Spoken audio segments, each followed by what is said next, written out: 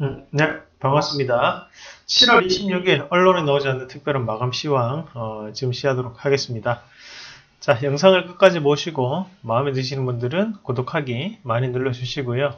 어, 좋아요도 많이 눌러주십시오. 큰 힘이 됩니다. 자, 유튜브나 포털 사이트에서 이상로 어, 또는 이상로의 빨간 주식을 검색하시면 어, 저를 찾아보실 수 있습니다. 자, 주식 시장을 선점하는 힘 바로 우리에게 있습니다. 좀 더 빠른 정보, 질 좋은 정보로 여러분들과 함께 공유하도록 하겠습니다. 자, 가입 문의도 가능하시고요. 어, 사실 그 아직 저희가 음, 유튜브를 이렇게 영상을 올린 게 1년이 채 되지 않았습니다. 어, 그럼에도 불구하고 사실 우리가 뭐 이런 뭐랄까 포토샵이라든지 이런 여러 가지에 대해서 조금 더 화려하게 꾸미지 않고 어, 그냥 말 그대로 콘텐츠만을 어, 업로드를 하고 있는데도 불구하고 많이 또 시청을 해주시는 것은 그만큼 중요한 것은 실력이고 그리고 그 실력에 대해서 어, 좀더 어, 재료적인 모멘텀을 가지고 우리가 맛있게 요리를 해서 또 보여드리는 부분이라고 생각을 합니다. 그래서 이런 정보에 대한 부분 자체를 빠르게 공유할 수 있도록 어, 항상 어, 좀더 최선을 다하도록 말씀을 드리도록 하겠습니다. 자 그러면 일단은 본격적으로 보기 앞서 가지고 음, 앞서 말씀드렸다시피 어, 그만큼 또 많은 분들이 또 구독을 해주시는 만큼 이런 또 사칭 업체도 조금 등장을 해서 어, 법적인 처벌이 지금 가해지고 있는 상황이고 어, 저희는 개인정보를 이렇게 어, 카카오톡으로 여러분들께 물어보지 않습니다. 어, 그래서 이것은 사칭 업체입니다. 그 전화를 하면 가입 문의에 대해서는 제가 직접 어, 목소리를 들려드리는 만큼 어, 여기에 대해서는 속지 마시길 다시 한 번 더 당부를 드리도록 하겠습니다. 이런 것들이 이제 피해가 생길 수 있는 만큼 각별한 주의를 하시길 바라겠고요. 어, 매번 강의회 때마다 또 많이들 오셔가지고 이렇게 이제 함께 시간을 보내고 가시는데요. 어, 한 달에 한 번은 꼭 강연회를 하려고 하거든요. 그래서 다음 달에도 8월 말쯤 지금 강연회를 계획을 하고 있는데 장소가 정해지면 어, 이 유튜브를 통해서 가장 먼저 말씀을 드리도록 하겠습니다. 어, 자, 어, 그러면 어, 오늘 시장 한번 같이 보실 텐데요. 어, 일단 중국 증시는 소폭 상승 마감을 했고 니케이는 아, 하락을 했습니다. 하락 마감을 했고요. 환율이 1184원까지 오르는 그런 모습이 조금 특징적인 부분이었고 음, 자, 지금 보면 일단 중국 증시가 왜 올랐을까? 중국 증시가 장중에는 뭐 마이너스도 기록을 하고 보합권의 움직임도 나타났었는데 결국에는 상승으로 마감됐던 것은 어, 미국과의 협상, 미중 무역 협상 자체가 계속적인 긍정적인 모멘텀을 보내고 있다라는 거거든요. 거기에 따라 가지고 어, 상승을 했다라고 볼 수 있고 어, 니케이 같은 경우에는 빠졌던 것을 조금 추정을 해본다면 우리나라와 똑같은 이유죠. 사실 일본과 지금 우리나라에 대한 어, 적대적인 그런 관계 형성이 일본에도 어, 도움이 되지 않는다라고 지금 시장은 판단을 하는 겁니다. 지금 외국인들이 니케이 시장에서 많은 돈들이 빠져나가고 있는 상황인데 그 말이 즉슨 그 말이 즉슨 결국 일본에 대한 부분에서도 경제에 전혀 도움이 되지 않고 있고 그리고 국내 증시도 마찬가지로 어, 물론 일본 사람들이 싫지만 경제는 또 우리가 또 개별적으로 또 생각을 한번 해봐야 되거든요. 그래서 어, 우리나라의 국산화가 진행되는 것은 좋지만 그에 따른 시간은 걸릴 수밖에 없습니다. 그래서 거기에 따라서 지금 시장은 냉정하게 매도세가 좀 나타나고 있다. 뭐 그렇게 평가를 할 수 있겠습니다. 자, 오늘 코스피도 그렇고 코스닥도 그렇고 어, 양시장 모두 다 조금 빠졌는데요. 자, 어, 일단은 1번 한번 같이 보도록 하겠습니다. 오를 때는 컵, 디커플링. 그러니까 디커플링이라는 것은 따로 움직인다는 거고 커플링이랑 같이 움직인다는 건데요. 어, 미국 증시가 오를 때는 어때요? 우리나라 증시가 오릅니까? 안 올라요? 안 오르죠? 안 올랐고 오늘 미국 증시가 빠져버리고 시작을 했는데 그렇다 보니 우리나라는 더 많이 빠져서 어, 시작을 해버렸습니다. 어, 사실 뭐 나스닥이 지금 나스닥도 그렇고 나스닥이 1% 가까이 오늘 빠졌었어요. 어, 그리고 다우 증시도 그렇고 자, 빠진 것을 한번 같이 보시면, 자, 같이, 차트가 어디 갔냐? 음. 어, 지금 다우 증시도 그렇고, 자, 올라왔다가 이렇게 살짝, 살짝 이런 식으로 각이 조금 죽는 그런 양상이었는데, 결국에는 미국 증시도 지금 기대감으로 오르고 있는 상황이기 때문에, 어, 상승폭이 제한적이었다라고 보는 게 맞고 대신 거기에 대해서 뭐 이렇게 팍 빠진다 그런 건 아닌 거라고 저는 판단해요. 어느 정도는 다시 한번 이런 조정을 보이면서 이렇게 이제 넘어갈 거라고 보는데 그만큼 다우 증시나 나스닥도 조금 쉬어가는 흐름이 필요했고요. 왜냐하면 지금 뭔가에 대해서 해결된 게 아니고 자 미중 무역 협상이 해결된 게 아니고 여기에 따른 기대감이잖아요. 그두 번째 또 뭐였어요? 금리 인하에 대한 기대감이죠. 금리 인하를 했습니까? 안 했죠. 어.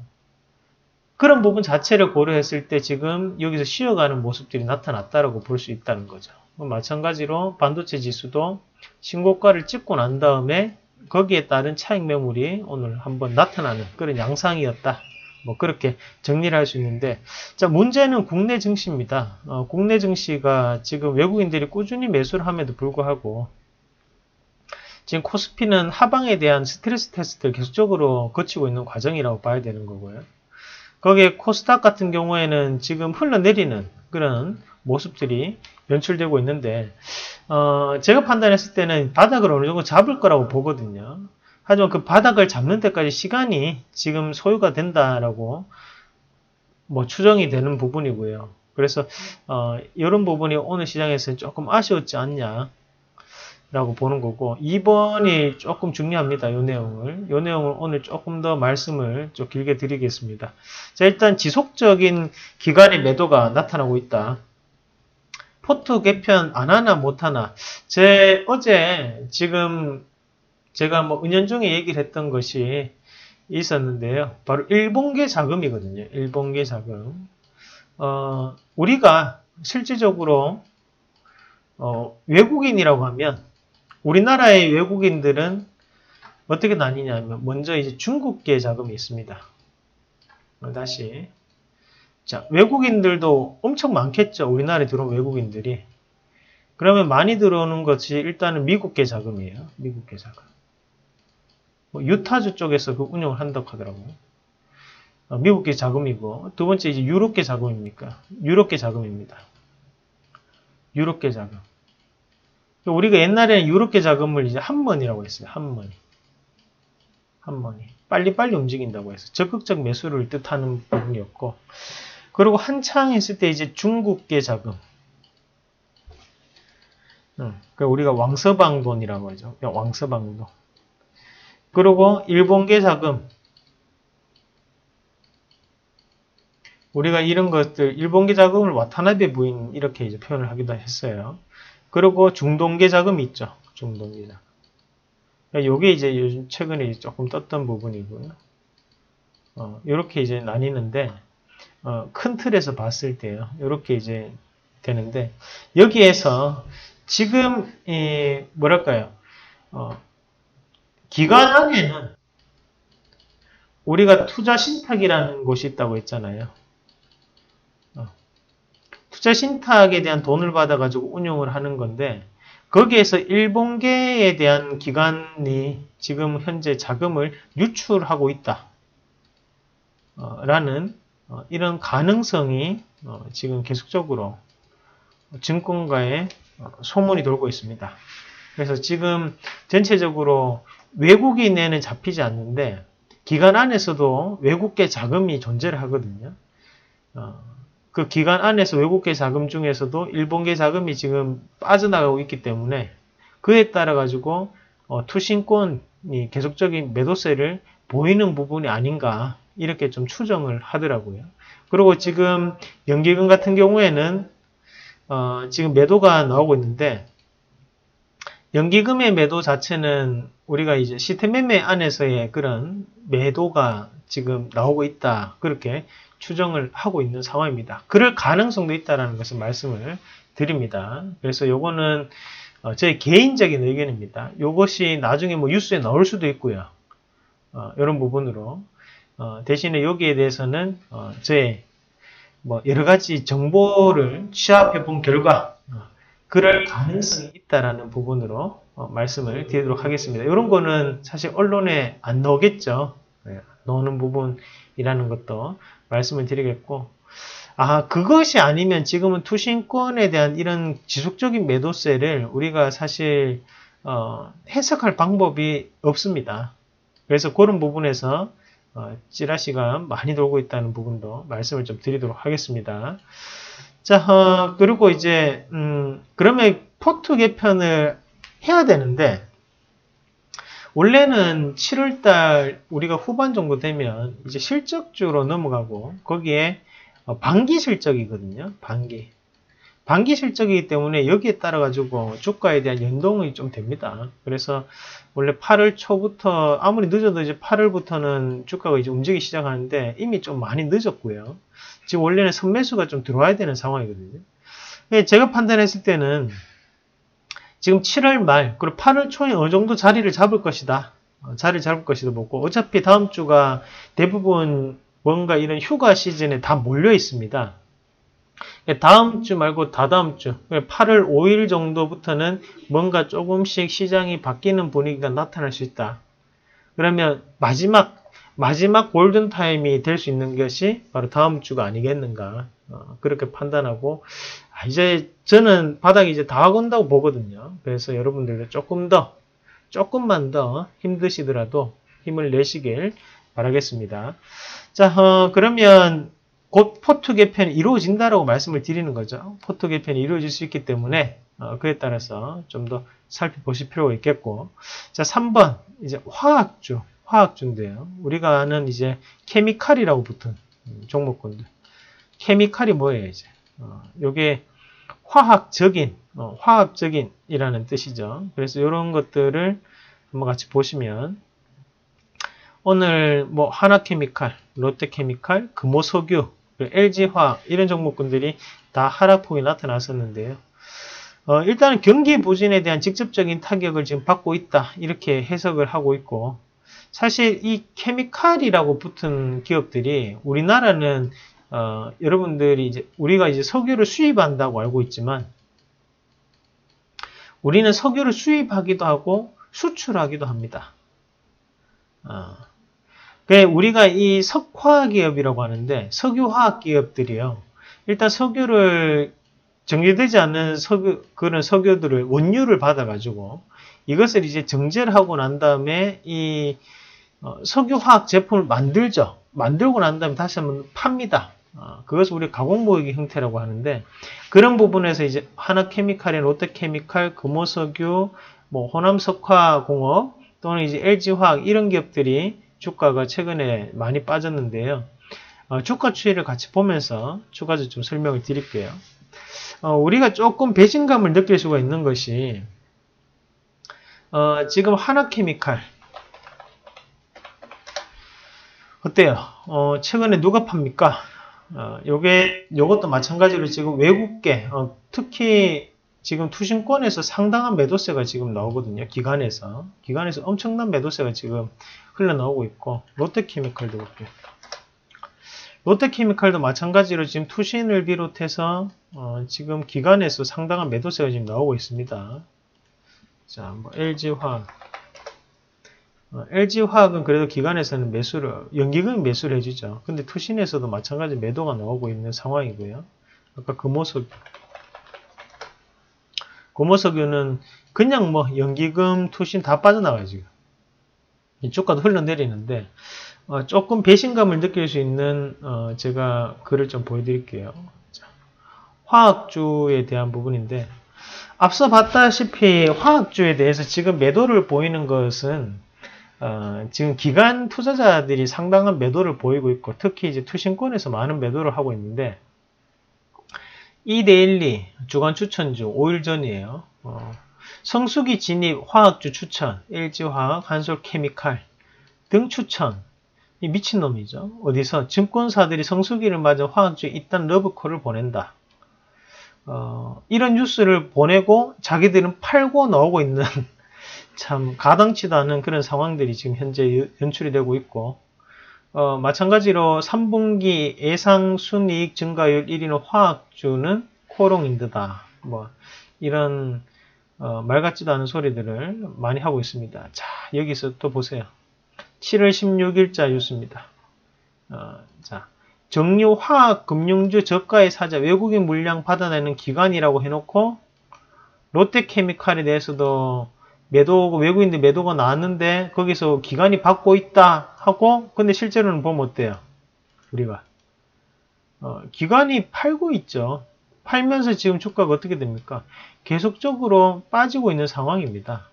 그냥 지금 이런 뉴스에 대한 언론 보도 형태 자체가 결국에는 이런 케미칼 회사에 대해서 바닥권력에 다가오고 있으니까 우리 개인 투자자들이 막아 놀라는 얘기잖아요. 우리 개인 투자자들 사가지고 주가를 바닥을 잡아둘라. 우리 힘으로는 부족하기 때문에 너가 막아도 그리고 우리는 팔고 나갈 테니 지금 이 말을 하고 있는 거거든요. 어, 근데 지금 상황을 봤을 때 화학주가 왜 빠지느냐? 어, 뚜렷한 뭔가에 대한 악재를 알지 못한다는 거죠. 뭐 이란에 대한 부분도 있을 수 있고 실적에 대한 부분도 있을 수 있지만 우리가 아 이것 때문에 지금 이렇게 빠져요. 이렇게 얘기를 못하고 있다는 겁니다. 자, 그 말은 아직까지 이유가 없이 빠지고 있기 때문에 그 이유가 나타날 때까지 하락폭이 좀 더 연출될 수 있다고 봐야 돼요. 그럼 여기에서 저 뉴스를 접하고 난 다음에 아 화학 좀 많이 빠졌기 때문에 내가 장기 투자 입장이기 때문에 야 이거 롯데케미칼 이렇게 보면 많이 빠졌구나. 지금 자리에서 한번 들어가 볼까? 그렇게 생각하면 안 된다는 거예요. 마찬가지입니다. 마찬가지로 어, 하나케미칼 같은 경우에도 120선 밑에서 지금 움직이고 있기 때문에 결국에는 상당한 저가 권역이다. 라고 판단할 수 있지만 다른 한편으로는 또 어떻게 생각할 수 있냐면 120선을 못 넘어선다는 것은 지금 이게 돌파를 하려고 하다가 어때요? 돌파를 이렇게 하려고 시도를 했지만 실패를 한 거거든요. 그것은 힘이 없다는 얘기예요. 힘이 없다는 거죠. 이것을 돌파하지 못할 정도로 기업이 좋지 못하냐? 이렇게 되물을 수 있는 거를. 그런 부분 자체를 판단했을 때 저는 지금의 화학주를 언론에 대한 저런 증권사 레포트를 보고 사는 것은 상당히 위험 부담이 따른다. 아직까지 바닥이 어느 정도 형성된 게 아니기 때문에 굳이 우리가 거기에서 어, 지하 2층이라 생각해가지고 여기 맨바닥이겠구나 들어가는 것은 지하 10층까지 열려 있을 수도 있는 부분을 충분히 만들어낼 수 있다고 봅니다. 그래서 지금 화학주에 대해서 뭐 롯데케미칼, 하나케미칼, 뭐 호남석유, 뭐 금호석유 이런 기업들에 대해서는 좀 더 시간을 두고 우리가 공략을 하시는 게 필요해요. 어, 우리가 이 시장이 안 좋다 보면 그냥 무작정 빠져 있는 종목군들에 대해서 그냥 강하게 드라이브를 걸어버리거든요. 그런데 문제는 빠져있던 종목군들이 거기서 한 번 더 빠져버리면 복구되는 데까지는 엄청난 시간이 필요합니다. 네. 그리고 막상 여기서 샀는데 이게 이렇게 빠지더라도 이 정도까지만 빠지겠지 싶어가지고 못 팔게 돼요. 그걸 한번 다시 한번 생각해 보셔야 돼요. 그래서 바닥이 어느 정도 조금 드러난다는 여부를 좀 더 확인을 해야 되는데 지금 하나케미컬 같은 경우에는 바닥을 한번 잡아본다면 제가 판단했을 때는 이 자리 밑으로 내려올 수 있거든요. 그 자리 자체가 어, 한, 뭐, 요 정도 자리까지는 열어놓고 봐야 될 것 같아요. 그래서 한 17,000원대에서 16,000원 정도. 롯데케미칼 같은 경우에도 앞에서 들어 올렸던 물량. 자, 그런 부분 자체를 고려하고, 뒤에서 들어오는 물량을 고려하면, 일단 맥점을 한번 잡아본다면, 뭐, 요런 자리가 1차적인 맥점이죠. 그리고 지금 빠지는 데인데, 그냥 요 정도까지 한번 내려오죠. 21만원대까지. 그래서 지금 둘 다 하나케미칼, 롯데케미칼 가격 때가 상당 부분 지금 떨어져 있어요. 지금 금호석에도 마찬가지로 이것도 이제 요 밑에 자리까지 지지를 받아야 되거든요. 그럼 한 요 정도까지도 나오겠죠. 예, 그래서 78,000, 77,000, 76,000 정도 되는데 이런 부분까지도 한번 다시 한 번 더 고민을 하시면서 접근할 필요가 있다라는 말씀 함께 드리도록 하겠습니다. 자, 4번 경인양행. 아, 경인양행 드디어 터지네요. 어. 자, 이 시간을 통해서 많이 보셨죠? 경인양행. 경인양행도 한 다섯 번 했습니다. 자, 포토레지스트. 포토레지스트. 원재료 공급의 상한가. 제가 요 기업을 얘기하면서 일, 그 일본 기업 스미토모 화학 얘기했던 기억나세요? 스미토모 화학. 그 오늘 여당의 정치인들이 뭐 이 회사를 방문했다고 하죠. 방문하면서 포토레지스트의 원재료를 30%를 이 기업이 공급하는데 그런 얘기들이 뭐 나왔다고 하면서 이제 상한가까지 갔는데 어 이제 경인양행하고 이제 비교를 하는 게 동진 세미캠을 얘기를 많이 합니다. 동진 세미캠은 포토레지스트를 만들어내는 기업이고요. 앞서 봤던 경인양행은 그 포토레지스트에 대한 원재료를 납품한 업체예요. 만들어내는 기업은 이 기업 말고도 일본에 있는 기업들이 많겠죠. 동진쎄미켐 말고도. 하지만 원재료를 납품하는 기업은 소수기 때문에 오늘 경인양행이 상한가를 갔다는 거죠. 하지만 우리가 이 상한가를 보면서도 생각을 좀 더 할 수 있는 것이 일단은 경인양인 같은 경우에는 우리가 방송에서도 많이 소개를 해드렸던 이유는 바로 여기에서 꾸준히 꾸준하게 여기서 이제 박스권을 오랫동안 유지를 했기 때문에 소개가 많이 됐던 거였거든요. 그러고 난 다음에 이번에 시세를 올렸는데 자, 이 기업이 시세를 올리면서 원래 그 전에 하던 일이 있어요. 그게 바로 염료. 어, 염료 관련된 일이 주종입니다. 그리고 2012년부터 이 기업이 디스플레이 전자재료에 대해서 어, 그때부터 납품이 들어가기 시작하고 매출을 다변화시키게 돼요. 자, 그러면 이 전자재료에 대한 부분으로 스미토모화학과 연결이 되어 있고 스미토모화학은 삼성전자와 또 연결이 되어 있는 기업이에요. 그리고 스미토모화학과 이 경인양행이 함께 합자회사를 만든 회사가 있는데 그게 일본에 있습니다. 다, 다케다 뭔가 그런 게 있어요. 제가 이름이 확실하게 뭐 생각 다 모입니다. 다 세 글자인데요. 제가 지금 이름이 생각이 안 납니다. 예전에 팍팍하면 금방 떠올랐는데 아, 조금 애매해요. 제가 확실하지 않기 때문에 말씀을 더 이상은 드리지 않겠습니다. 그래서 그 기업을 지금 지분을 두 개를 같이 투자를 해서 해놨는데 그러면서 거기에 따른 실적적인 성과가 지금 나타나는 과정이라고 좀 봐야 돼요. 그래서 지금 이런 기업들이 2분기 실적도 상당히 긍정적으로 발 표를 할 겁니다. 오늘 상한가를 가면서 뭐 이유 없이 상한가 간 건 아니고 실적에 대한 이유도 분명히 있을 것이다. 그러면 오늘의 이 상한가는 어, 좀 더 추가적인 상승에 대한 의미를 둘 수 있는 상한가라고 봅니다. 이런 것들은 좀 더 관심을 가지자. 보면 반도체 관련된 종목군들이 요번에 대부분 다 거래량이 엄청나게 뽑아냈어요. 그죠? 뭐 후성도 그렇고 솔브레인도 그렇고 지금 보면 뭐 동진 세미캠 자 다들 거래량이 엄청나게 많이 나왔습니다. 근데 아직까지 경인양행이 어, 경인양 많이 나왔죠. 많이 나온 상황이지만 가격적인 부분에서는 좀 더 추가적인 상승이 나타나지 않을까 어, 그렇게 보고 말씀을 드리도록 하겠고요. 자 계속 이어서 보겠습니다. 이런 식의 미사일이라니 어, 이거 어제자 원래 뉴스죠. 북한에 대한 얘기, 얘기인데 그 오늘 또 경협주가 한 번 더 빠졌기 때문에 오늘 경협주를 좀 다루도록 하겠습니다. 자 지금 한국은 바쁘다. 아 이놈들이 아 이게 또 근데 이 북한에 대한 거는 또 이 뭐랄까 이제 정치적인 성향들이 또 다들 있으시기 때문에 최대한 이제 언급을 자제하려고 하는데 어, 저의 개인적인 의견이라는 것을 미리 먼저 말씀을 드리겠고요. 하, 이 관심 관심 종자 같아요. 관심 종자.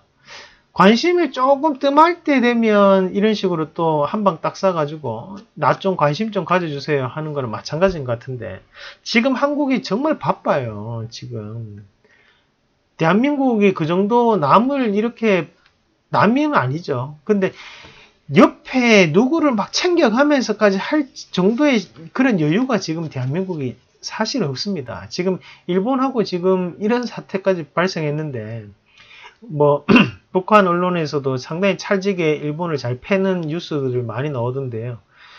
지금은 그런 말이 중요한 게 아니고 뭔가에 대한 행동 자체를 우리나라 국민들에게 어, 거스릴 만한 행동을 안 하는 게 맞다고 보거든요.